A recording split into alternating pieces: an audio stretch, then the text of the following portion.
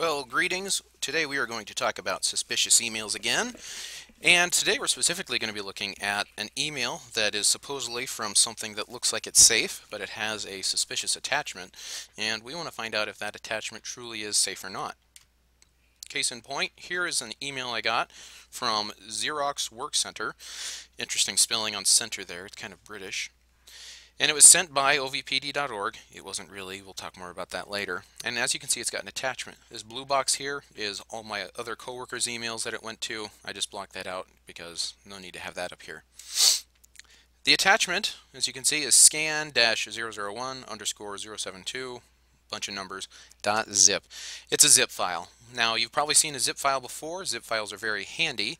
They're used for compressing a larger file into something a lot smaller, a lot more manageable, and it can be sent as an email attachment a lot easier that way.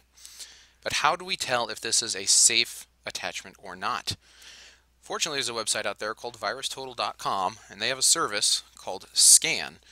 So you forward your email along with your zip attachment to scan at virustotal.com. The subject body, or I'm sorry, in the subject line here, just put scan, all capital letters, and in the message body, clear it out completely, nothing there.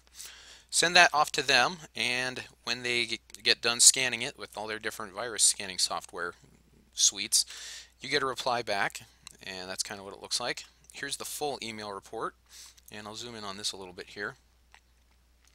And it's pretty interesting stuff, as you can tell. It's got it scans it with all the leading and probably some you've never heard of virus softwares out there and it's got antivir found tr.atraps.a.3782 and Commtouch tells us it found a Trojan, Dr. Web says it found a Trojan, so obviously probably not an attachment we should open if things called Trojan are involved with this.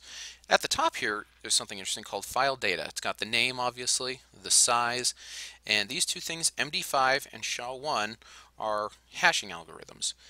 MD5 and SHA-1 are both an algorithm that it takes the data of the file and it looks at it and out pops this signature.